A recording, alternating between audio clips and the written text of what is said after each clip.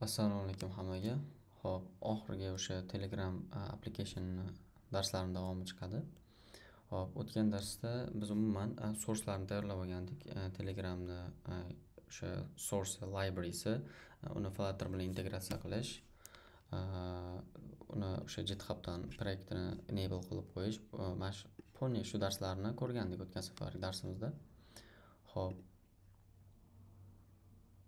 Э, bugun sizlar bilan э, o'shani э, UIda qanaqadir fieldlar ya'ni Telegramdan ro'yxatdan o'tkazish, shunaqa narsalarni ko'rib chiqamiz. Xo'p, bizda endi sizlar qaysi arxitekturadan foydalanasiz bilmayman. Men shunaqa qildim. Ya'ni TDI uzr, TDLib test driven development yozyapman aniqrog'i. Xo'p, domain, infrastructure, presentation layerlari va alohida TDLib ochib qo'yapman, chunki bu o'sha Telegramni har bitta funksiyalarini o'sha yerda yozib chiqib, keyin Flutterga rezultlarni Flutterda ko'rsataman. Xo'p, men domain ichidan constant degan bitta papka ochib, uni ichidan credentials degan anaqa ochib qo'ydim. Obyekt ochdim. Bu obyektni ichida Telegramni e, credentiallar saqlanadi. Ya'ni sizni app IDs, app IDs, e, API hash va e, database encryption key. Faqatgina mana bu database encryption keyni o'zingiz yarata olasiz. Ya'ni любой birorta saytga kirib auto generate qilib buni assign qilib qo'yishingiz mumkin. Lekin app ID bilan API hashni Telegram orgga kirib, mana shu saytga kirib, bu kirish uchun bu yerga create telegram application deb yozsangiz creating your telegram application kirib mana bu linkga bosasiz. Bu o'tgan safar ko'rsatganman bu qismlarni. API developmentga kirib o'sha telefon raqamingizni kiritsangiz o'zi yoki o'sha loyiha yaratasiz yoki yaratgan loyihangizni credentialdan ko'rsatib beradi.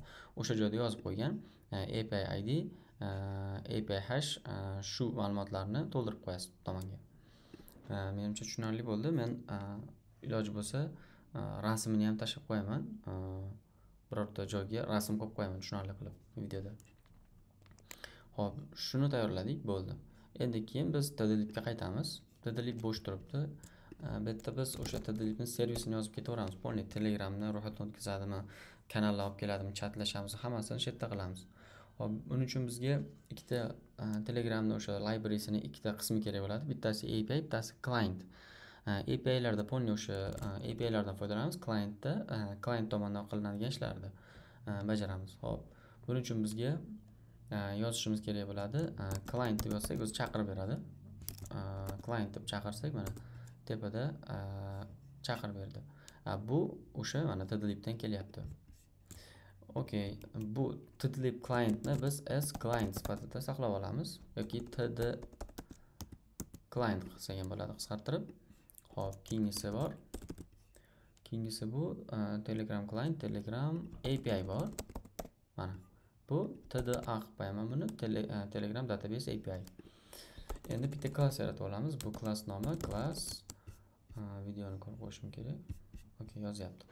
Class Telegram client ochib e, buni ichidan endi bitta anaqa ochaman. Ya'ni credentialslarni olishim uchun anaqa instance ochaman bitta Telegram Flutter Telegram ekan. Flutter Telegram credentials credentials tenglashtirilgan Flutter Telegram credentials. Okay. Keyingisi bizda late final shunaqa qilishimiz to'g'rimi? Yo'q, shart emas ekan.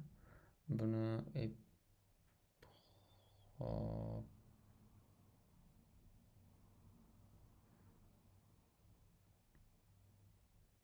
API ishlatib mayli shunaqa qilib ketaveramiz. Men qanaqa bilmadim. Ancha bo'ldi bu kodni yozganimga, sample'lardan ko'rsatib beryapman. API ID ochamiz, mayli. Final bunisi string. API ID bu int bo'lishi kerak. API hash string bo'lishi kerak. API hash mana o'zi chiqarib berdim Keyingisi final late final string db db uh, encryption key deb yozib qo'ydim.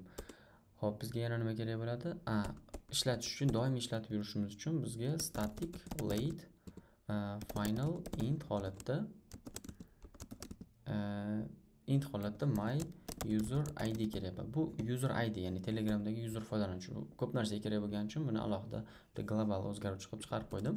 Endi kodni yana ham optimize qilsa bo'ladi lekin hozircha shu yechim bo'lib turibdi. Ho'p bizga keyin yana nima kerak bo'ladi? Bizga tdc client deb chaqiramiz. Client chunki tepada tdc deb chaqirdik. Shu tdcdan kelgan clientni Э, kelgan client. Э, client deb saqlab olamiz. Bu client o'sha biz ya'ni э, kirganimizda deviceimizni anaqasi bor instansi hop ochdik. Endi bundan keyin nima qilinadi? Bundan keyin bizga bitta statik o'zgaruvchi ya'ni singleton qilib singleton yaratib olamiz. Bir marta faqat initialize bo'ladi. Qolgan payt faqat o'sha o'sha valueni ishlatib turaveradi doim. O'sha yerdan biz ochamiz. Instance degan ho'p buni yozdim. Endi telegram bitta konstruktor ochaman. Default konstruktor bu. Telegram e, private konstruktor ochib olaman. Pastki bilan. Va buni ichida API hashni hammasini tanitamiz. Mana credentialsdan kelgan API credentials nuqta. Kelmaganimiz sababi kiramiz. Kelmaganini sababi bizda statik bo'lib qolgan. Shuni statikni olib tashlaymiz kerak emas. Chunki instance olib bo'ldiydi u tomonda yoki boshqacha yo'li ham bor edi. Kelinglar shuni qilib qo'ya qolamiz hozircha e, credentials api id keldi mana. Api hash e, hammasi joyida bu nima bo'ldi? Bu e, o'sha telegramni ishlatganimizda mana telegram clientni doim o'sha instance olganimizda avtomatik bular ham tanitiladi va keyingi safar anaqa qilmaydi ya'ni qayta tanitilmaydi. Ho'p endi buning uchun bitta factory constructor ochib Э, telegram client bu э, ham faqat buni ichida o'sha instance agar nalga teng bo'lsa deymiz. Agar mabodo mana bu instance hali tanitilmagan bo'lsa shuni tanitib qo'yamiz qayta. Э, mana telegram telegram client qilib tanitib qo'yamiz. Faqat bu o'zi emas private constructor chunki private constructor bizga nima qaytaryapti? Mana bu narsalarni assign qilib qaytaradi. Xo'p, endi oxirida tanitib bo'lgandan keyin return instance ni qaytarib qo'yamiz bo'ldi. Lekin nimaga muammo bor? Telegram client can't be returned biz kattadir null bo'lni tashlab ketdik. Xo'p. null bo'lni tashlab ketdik qayerdadir bilmadim qayerda bo'lishi mumkin bu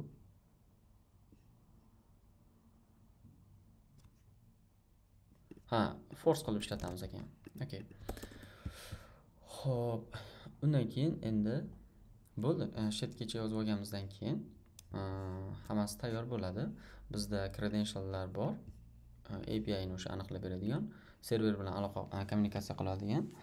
Ho'p klientimiz bor. Endi nima qilishimiz kerak? Telegramga kirganda bizga birinchi sahifaga misol uchun Э, home pagega olib o'tsinmi yoki ro'yxatdan o'tishni qanaqa bo'ladi hammasini ko'rib chiqamiz bitta hozir.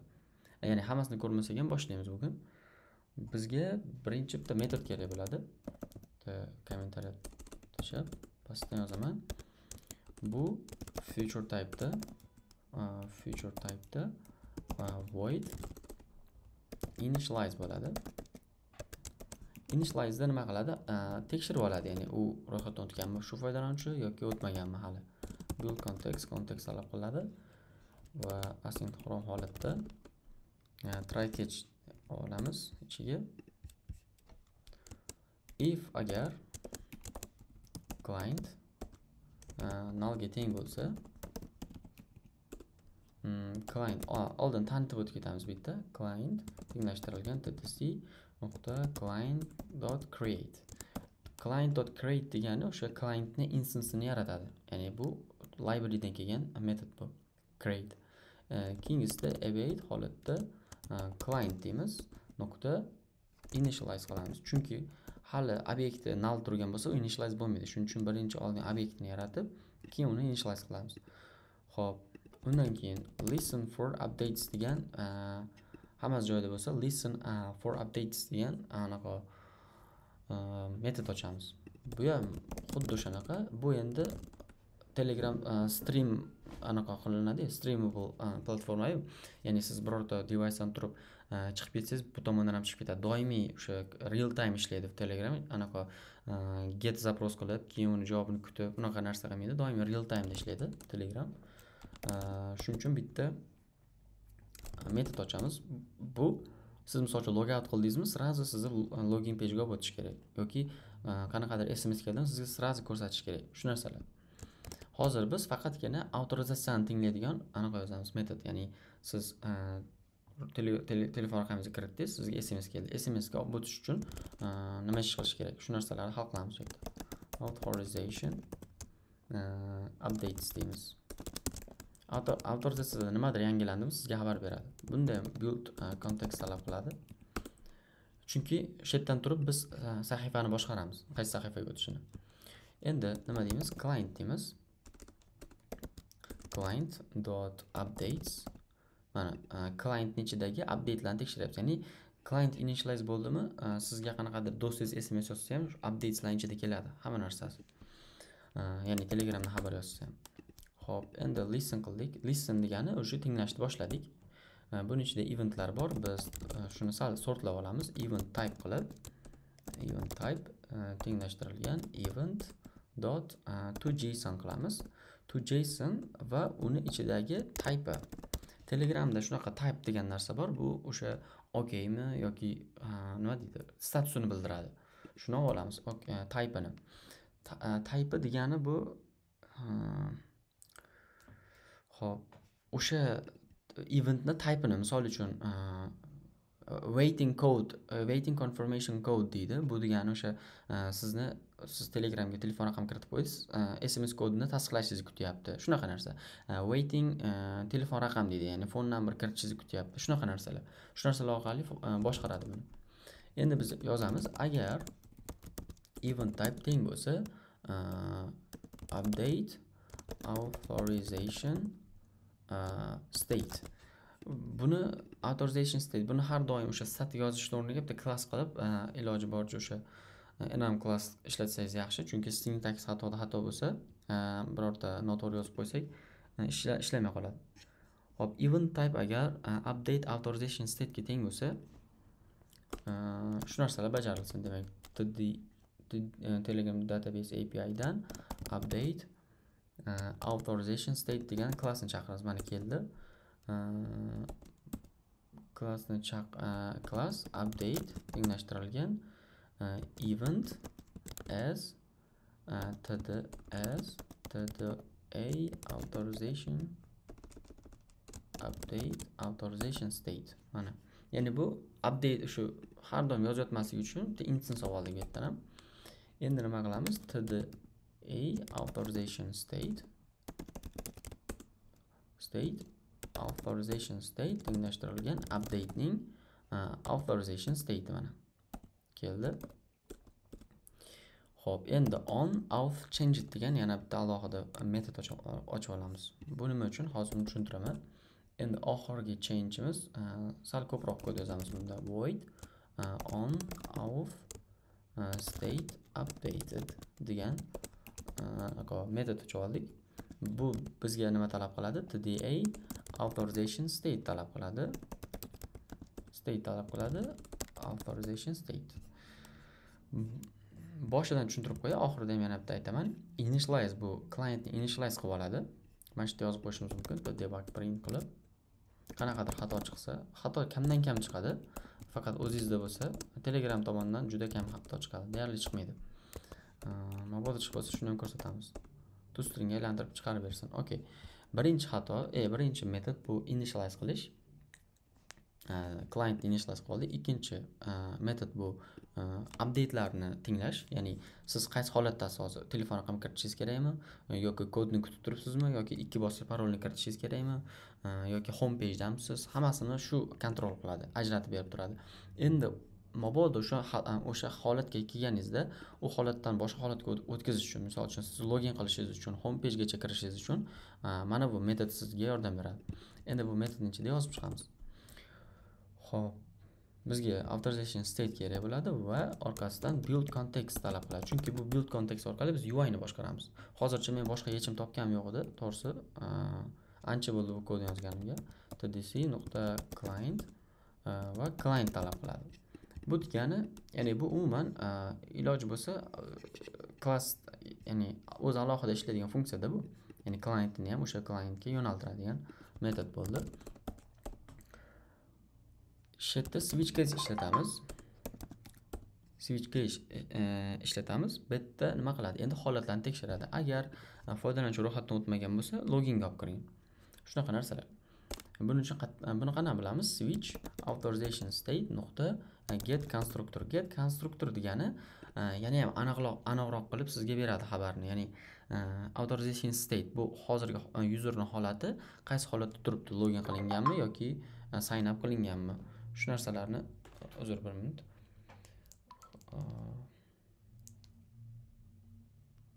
Shu narsalarni ko'rsatib beradi. Demak valuega yozamiz tda nuqta nokta authorization state. State wait phone wait phone number. Ana hozir aytganim wait phone number degani demak hozir biz e, e, telegram bizdan telefon raqamimizni kiritib login qilishimizni kutib turibdi ekan bo'ldi. Shunda nima ish qilishimiz kerak. E, shunda yozishimiz kerak demak await async holatda ishlaydigan qilib yozib set tdli parameters deb yozib qo'yishimiz kerakmi yoki yo'q sal boshqacharoq ish qilamiz ekan bunda phone numberni kutib turgan bo'lsa demak asinxron mayli ishlasin future navigator dot push. Material page road context ni o'sha ausga yo'naltirsin. Ya'ni ausda bitta auf page ochib qo'yganmiz to'g'rimi auf page degan shuni olib shuni o'zi auf page demaylikda phone number page deylik auf phone phone page deylik. Ya'ni telefon raqam kiritadigan qismi shunga yo'naltirib yuboradi. Hamma tushundi menimcha. Qachonki o'sha login qilmagan bo'lsa sizni authorization pagega yo'naltiradi. Faqat bu string deb qo'ygan ha buni konstruktorga tenglashtiramiz mana. Chunki buni ham konstruktorni oladi buni ham konstruktorni oladi. Okey agar teng bo'lsa shunga o'tkazib yuboradi aus pagega. Endi undan oldin bitta narsani men e, yozishim kerak. E, hozir buni tushuntiraman. Case agar today nuqta uh, authorization state wait uh, to delete parameters degan anaqa bor. Holat bor. Bu nima qilib beradi? Bunda e, bunda o'sha alohida metod kerak bo'ladi bizga yana. Alohida metod kerak bo'ladi. Future type'da void set to delete parameters degan metod kerak bo'ladi. Bu lokalniy datalar uchun misol uchun telefoningizda qanaqa taypi haligi telegramga sms keladiyu e, sizda mana shu mana shu e, qurilmadan e, kirildi degan. O'sha narsalar olib olish uchun kerak bo'ladi. Mana bizda mm, directory ochamiz. Directory. Direct bizda path provider nima atalganmi path provider. Agar o'rnatilmagan bo'lsa pass provider degan paketni yuklab olamiz. Bu bizga o'sha e, lokalniy qurilmamizdan telegram uchun joy ajratib beradi. Ya'ni telegramni datalari qayerga tushishligini aytib beradi. Ho'p directory deb yozdim. Va app doc dir hozircha kelinglar final qilib qo'ya o'zim qiynamasdan. App doc dir tenglashtirilgan await holatda get applications documents directory va yana bitta final deylik. Bu downloads e, directory bo'lsin. Alohida appdoc dir alohida downloads directory alohida bo'ladi.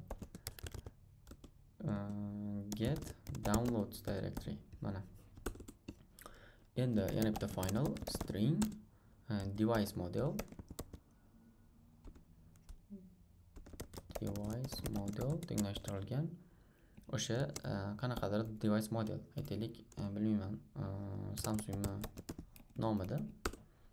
Keyingisi final string system language code. O'sha yerda system version bo'lishi kerak o'zi system versioni misol uchun o'nmi bilmayman. Keyin bu narsalar hal qilinadi. Endi oxirida today nuqta set to the lib parameters degan mana klass bor. Buni ichini mana ochsalang required parametrlar turibdi. Mana shuncha narsani berish kerak. Api hash api id va hokazo demak biz boshdan boshlaymiz. Api hashga eng tepadagi api hashni beramiz bizda tayyor turadi bu narsa. Keyingisi api id so'raydi api idni beramiz hop. Keyingisi nima so'rayapti? System language kodga hozircha men e, shuni berib turaman. Keyin buni dynamic qilsanglar bo'ladi o'sha e, o'zlaringda anaqa e, proyektlarga qarab. Tilini o'zgartirsanglar bo'ladi. Device modelga men device model berib qo'yaman hozirgi narsani.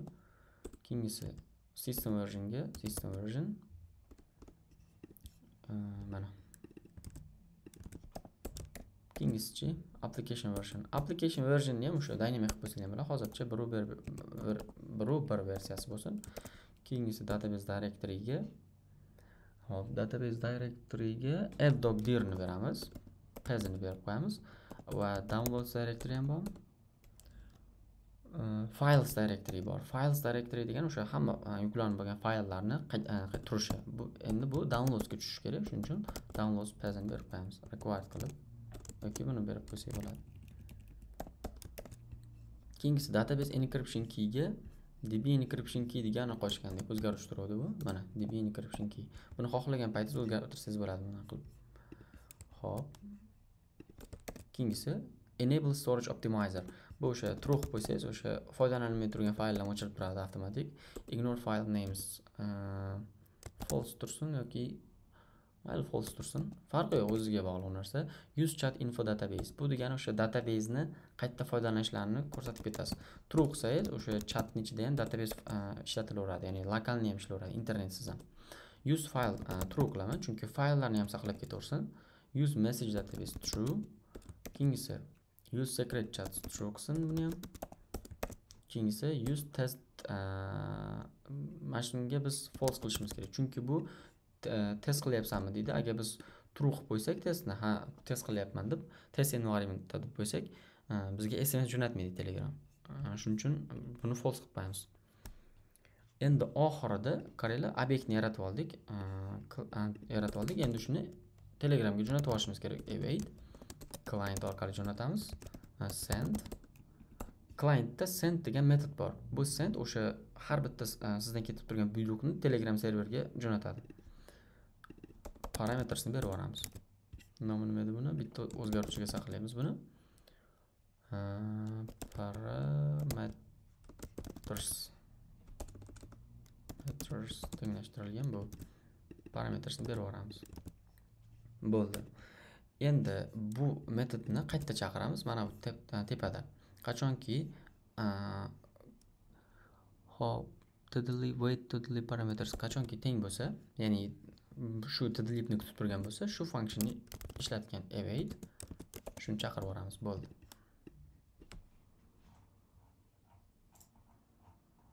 Hop tdlibni jo'natib orqasidan break qilamiz. Break. Okey endi keyingi qilinadigan ishimiz authorization phone number qildik. Bundan keyin ham break berdik. Keyingisi kelinglar hozir shu yergacha qilgan ishlarimizni endi flutterda e, bitta bog'lab olaylik keyin qolgan ishlarni qilamiz agar ishlasa. Yana qanaqadir muammo chiqib qolmasa agar. Bu hozircha bizga kerak emas ekan. Yo'q uzr to'xtanglar. Buni listen for authorization degan narsani bundan keyin chaqirib qo'yishimiz kerak edi. Uzr shu narsa esimdan chiqib qoldi hozir. Buni berib qo'yishimiz kerak edi. Va bundan keyin mana mana bu joyda e, pastdagi mana bu function chaqirib qo'yishimiz kerak edi. Mana authorization update. Va buni e, null holatda ishlatsak bo'ldi. Ho'p demak initialize ichida listen for authorization bu chaqirilyapti. Buni ichida e, bu chaqirilyapti bu function. Ho'p okey endi bizda bitta splash screen yasab olaylik. E, anaqa simulyatsiya qilishimiz uchun telegramni o'xshatishimiz uchun splash screen.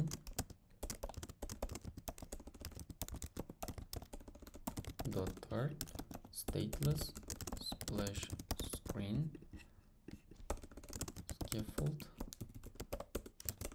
add bar title text telegram deb yozib qo'ydim. Endi bu bizga init kerak bo'lgani uchun stateful qilamiz. Ho'p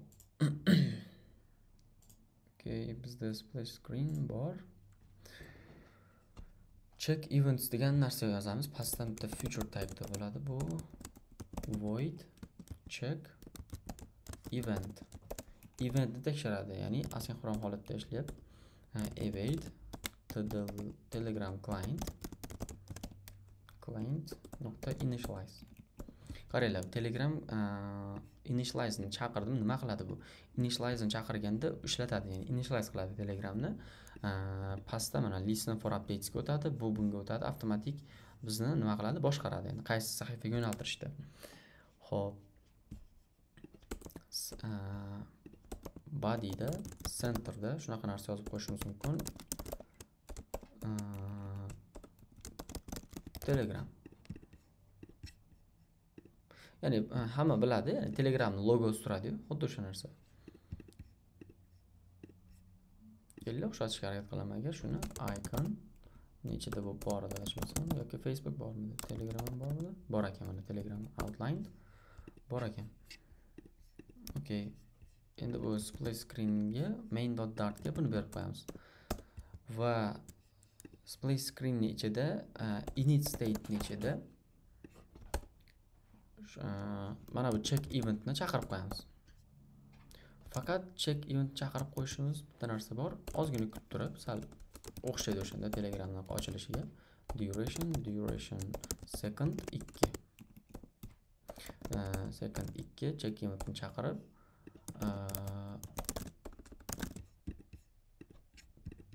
buni berib yuboramiz.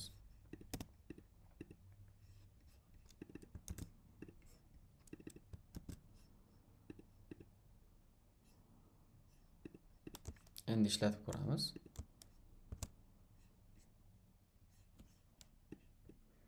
Mana bizda chiqdi. Telegram e, ikonkasi ko'rindi bizda. Endi bizni qaysi sahifaga o'tishini bilmayapti bu. Buning uchun qaranglar pastda xato chiqdi bizda. Yozib qo'yibdi. Fail to load dynamic library lib.json android nuqta e, demak e, o'tgan safargi muammo bo'lgan ekan. O'tgan safar ishlatib ko'rmaganimiz uchun hop source ichida, main ichida genial lips degan narsa ochgandik va buni qanaqa qilib initialize qildik? Pastda e, mana bu holatda.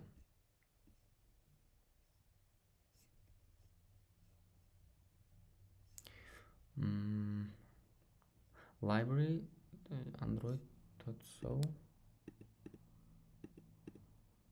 library android.so da failed to load dynamic library lib json android nuqta so faylida xato bor.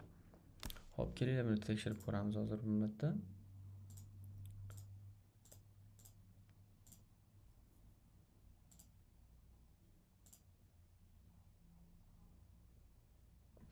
ho'p xato bizda qayerda bo'lishi mumkin? Source set degan narsani ichida e, bu chaqirilgan to'g'ri.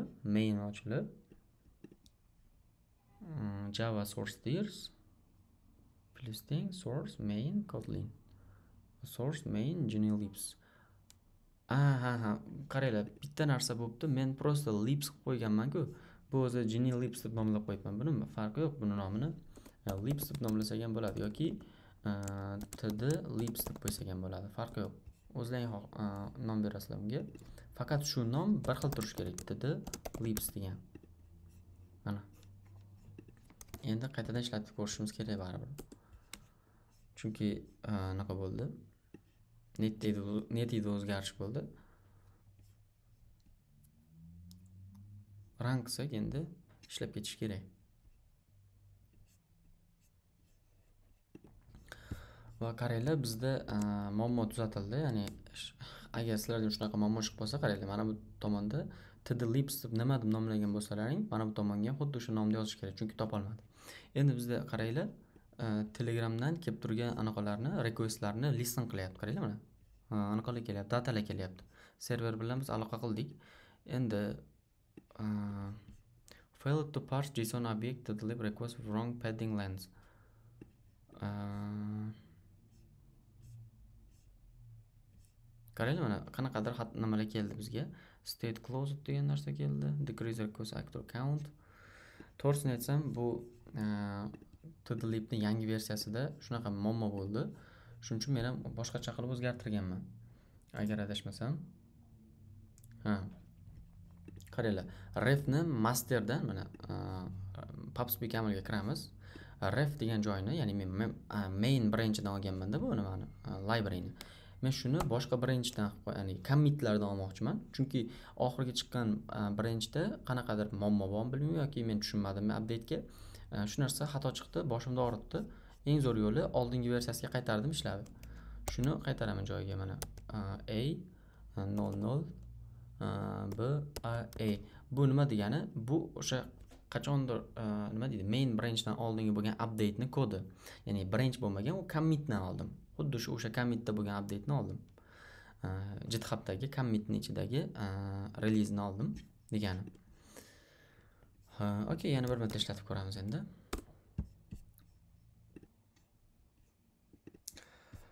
va qaranglar ishladi bizda demak o'sha men aytgan narsani o'zgartirasizlar. Ya'ni masterdan shu kodga o'zgartirib qo'ysalaring bu degani o'sha qaysidir reliz ya'ni masterdan oldingi bo'lgan updatedagi commitni kodi. Ya'ni o'sha commitdan oladi. Oxirgi update emas undan oldingi versiyalarni ishlataveramiz. Tdlibni ho'p qaranglar muammo chiqqan yo'q bizda. Telegramga o'tganimizda e, splash screenda turibdi va biz ro'yxatdan o'tmaganimiz uchun out screenga o'tib yuboryapti ana endi biz e, authorization stateda e, pageda yozamiz. Scaffold app bar. Endi o'zlaring xohlagan dizaynlarni chizishlar mumkin. Bodyda column olib bizga telefon raqam kiritishimiz kerak. Text form field va floating action buttonda floating action button on pressed child text. Uh, next deb qo'ysam bo'ladi hozircha text form fieldni ichiga input decoration yozib input decoration. Label text. Phone number va bu statelessni statefulga ko'chirib late final text editing controller phone number controller va buni init state deb tanitib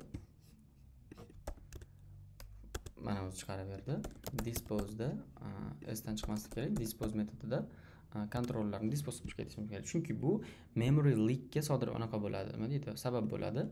E, memory drain bor memory leak bor o'sha xotirani bekordan bekorga e, egallab turadi. Agar siz text editing kontrollarni init setda dispose qilib chiqib ketmasangiz shunaqa narsa bo'ladi. Endi kontrollerga phone number kontrollerini berib yuboramiz ho'p bizda mana qaranglar. Ishladi. Faqat tdlibda bitta narsa qolgan. Biz pushni o'zini qilib qo'yganimiz uchun mana bu tugma turibdi. Shuning uchun shuning uchun push yoki push replacement qilsak ham bo'lar ekan farqi yo'q. Mana. Endi qaranglar bizda mana bu strelka yo'qolishi kerak. Mana yo'qoldi endi bu yerga biz telefon raqamimizni kiritishimiz kerak. Hozir telefon raqamni formatlaydigan input formatlarlar qo'shganim yo'q vaqtimizni oladi. Shuning uchun e, просто kiritib qo'yaman. O'zimni raqamimni kiritib ko'raman. Ho'p e, to'qson to'qqizlik e, to'qson to'qqiz sakkiz yuz o'ttiz uch olti yuz to'qson besh yigirma olti o'ttiz ikkini kiritib nextni bosganimizda sms kelishi kerak. Telegramdan bizga tasdiqlash kodi kelishi kerak. Buning uchun nima qilamiz? Tepadan bitta tepadan ochib olishimiz kerak tepadan bitta anaqa ochib olsak bo'ladi final typeida telegram client. Telegram client equal to telegram client. Va bu final turibdi on preset bosilganda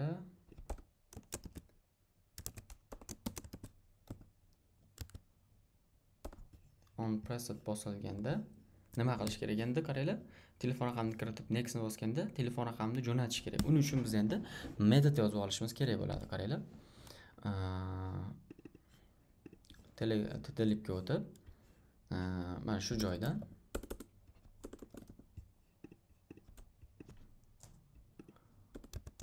feature feature void. Mm.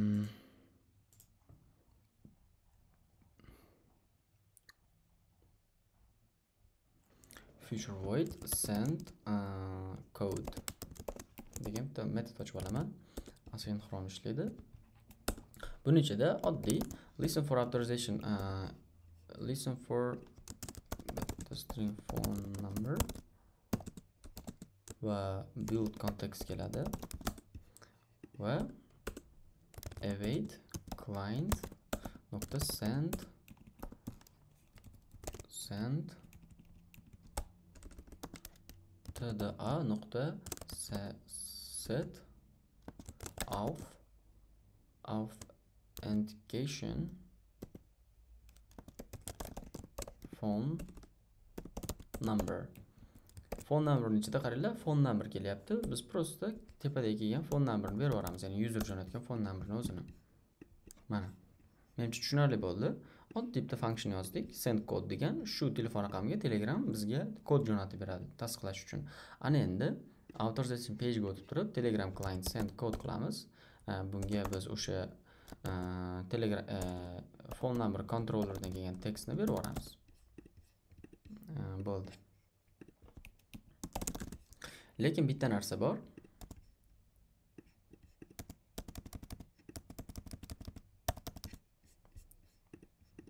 Keyingi e, proseslar proseslarni yozib qo'yishimiz kerak. Mayli uni keyin qilamiz qaranglar endi. E, Boshqatdan ishlatib ko'raman. Hozir men sizlarga ovozni e, anaqa qilaman. Qo'yib beraman nima deydi? Sms kelganini bilishlaring uchun. Hop sinab ko'ramiz.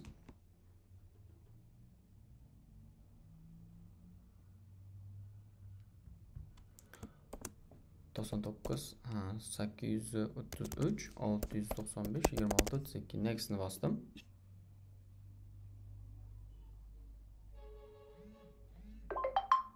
Eshitilang menimcha? Sms keldi telegramdan. Shu kelgan e, kodni men kiritib endi ro'yxatdan o'tishim kerak. Endi u hali proseslar yozmaganimiz uchun e, o'sha pejni chizib olamiz. Keyingi pej demak e, code confirm page.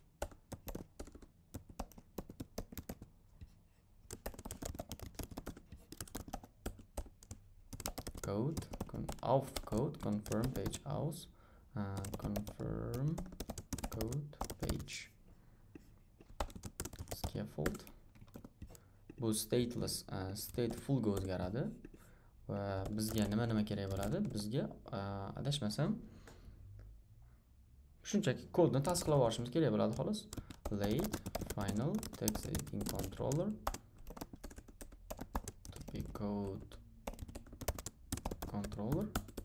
Init state ichida otp code controller tenglashtirilgan text editing controller. Dispose. Otp code controller dispose. App barga app bar title please confirm. Uh, please enter confirmation code from the telegram. Telegramdan kelgan o'sha confirmation kodni kiritgan deb yozib qo'ydim. Va deydi endi unga imkon beramiz kiritishga. Kolum ochishimiz mumkin yoki просто text form field ham bersak bo'ladi. text form field faqat buni centerga olib o'tib controllerga otp code controller decoration label text. Confirm code. Endi oxirida floating action button buttonga floating action button. Uh, floating action button. Extendedga text. Uh, continue continue. Etish deb qo'yaman va bu nima qilish bu nima qilish kerak? Bu ham qanaqadir function ishlatish kerak to'g'rimi? Yana bitta final. Telegram client. Telegram client tenglashtirilgan telegram client. Va buni nuqta send endi nima qilish kerak? Send emas confirm code. Shuni ham metodini yozib olishimiz kerak endi. Metodini mana bunday qilib yozib olamiz qaranglar. Future void check otp check confirm code. Deb qo'ysam bo'larkan. Asinxron holatda ishlaydi. Bunda ham xuddi shunaqa. Bizga kod keladi. Kelgan kodni user kiritadi va bizga beradi. Build context context keladi. Va orqasidan listen for updates degan narsa keladi. Bu listen for updates nima uchun men ishlatib ketyapman. Chunki men har bitta e, avtorizatsiya ustida qanaqadir ish e, qilsam u doimiy o'sha tinglab turadi va e, o'shanga qarab pejlarga almashtirib beradi. Ya'ni pejlarni kontrol qiladi uini shuning uchun listen up bu chaqirishim. Endi evet qaranglar o'zi chiqarib berdi anaqani o'zi. Bitta anaqa extension ishlatyapman. Nomi esimdan chiqib qoldi tab nine degan. O'sha chiqarib beryapti. Client send uh, check authentication code. Bu ham to'g'rimi bo'ldi to'g'ri shuni jo'natganimizdan keyin э, bizni anaqa home pagega ochish kerak. Chunki kodni tasdiqlab bo'ldingiz home pagega o'tadi. Yoki э, ikki bosqich parolingiz bo'lsa o'shanga ochish kerak. Ularni ham ko'rib chiqamiz hozir. Endi qaranglar telegram client tomonidan check otp deymiz. Check otpga э, otp kontrollerni tekstini berib yuboramiz. Faqat endi nima qilib qo'yishimiz kerak? Mana bu listen raptor deyishni ichidan case'ni ko'paytirib qo'yishimiz kerak qo'shishimiz kerak. Chunki nima deydi? Confirmation kod keladi o'shani kutib turadi. Shuning uchun ham holat yozib qo'yishimiz kerak. Uning uchun mana bunday narsa deymiz. Authorization state wait user device information state wait code. Mana bu narsa bor ekan bizda authorization state wait code degan narsa bor ekan qaranglar. Uning ichidan navigator deymiz push.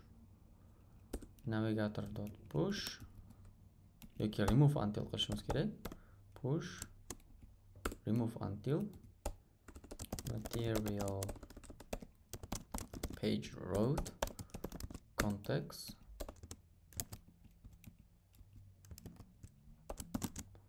Confirm pagemidi confirm code pagega o'tib yuborsin okey mana va break.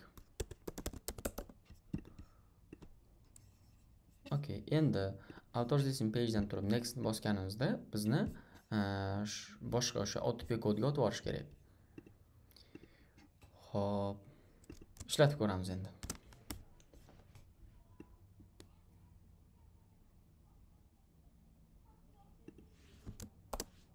men hozir telegramga kirib olishim kerak kodni bilishim uchun. Lekin bitta narsa bor bitta jo'natgandan keyin telegram qaytib jo'natmasligi ham mumkin. Shuning uchun ko'p jo'natish kerak emas.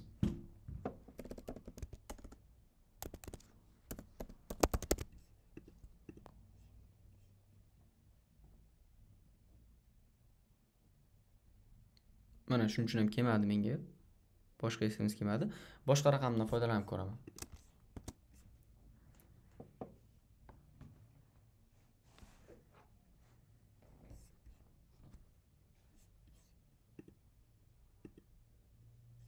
Bitta narsani aytay. E, please enter confirmation. Men qaytadan kirsam ham e, enter confirmation code olib kiryapti. Nimaga? Chunki telegramni o'zi e, bildi. Siz biz telefon raqamini kiritib yubordik. Kiritib yuborganimizdan keyin e, kod ketdi deb o'yladi ya'ni bizga e, kod jo'natganu telegram. O'shani kutib turibdida. Qani shuni yozib ko'ramiz. Agar eskisi expire bo'lmagan bo'lsa yozib ko'ramiz. Bizga kelgan kod o'n to'rt sakkiz yuz yigirma bir ekan. Continue bossam hech narsa bo'lmadi. Demak buni noldan ishlatishimiz uchun applicationni o'chirib boshqatdan kiramiz. Chunki telegram shunaqa ya'ni bir marta raqam kiritdingizmi o'sha kodni tasdiqlamasangiz qaytib jo'natmay turadi. Ya'ni session o'chib ketguncha. Bu sessionni e, client boshqaradi.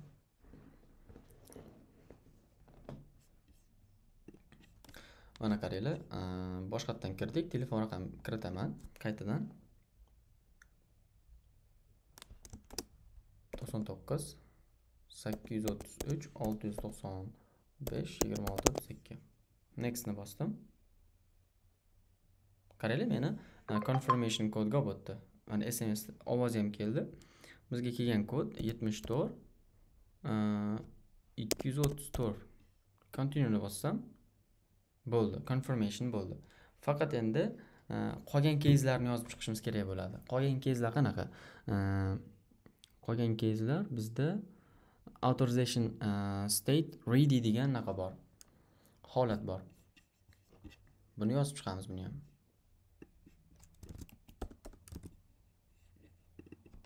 Authorization state. Ready. Ready bo'lsa demak buni home page ga o'tamiz.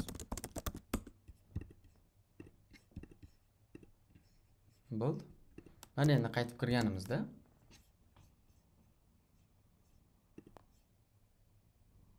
qaranglar home pagega olib o'tdi bizni chunki biz ro'yxatdan o'tib bo'ldik. Home pageimiz buni ichida ekan. Telegram. Leadingiga icon. Icons dot menu. Background color colors dot blue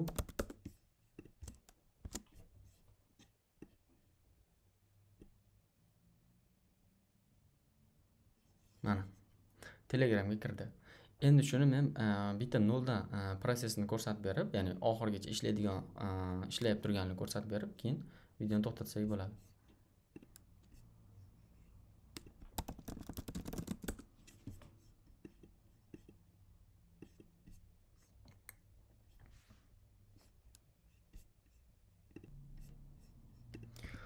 Ho'p endi buni noldan ko'rsataman bitta. Noldan ko'rsatganimizda to'qson to'qqiz sakkiz yuz o'ttiz uch olti yuz to'qson besh yigirma olti o'ttiz ikki qaytadan ko'rsataman ya'ni полный protsessni ishlayaptimi yo'qmi shuni tekshirish uchun ho'p mana kod keldi menga yana qirq uch nol oltmish bir continueni bosaman mana qaranglar telegramga kirdik. Authorization state tugadi bizda. Keyingi videolarda xudo xohlasa boshqa chatlarni olib kelish chat e, yozish telegram orqali shunaqa narsalarni e, yasab chiqamiz debdi.